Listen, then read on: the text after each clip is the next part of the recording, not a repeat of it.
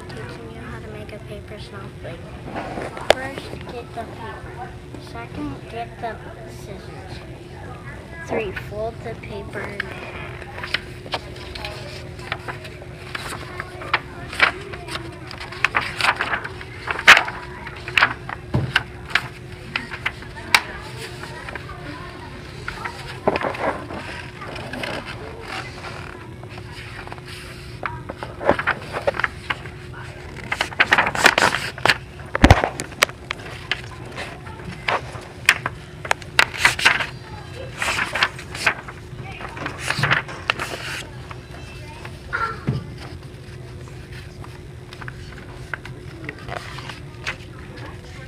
Five, then you cut, no wait.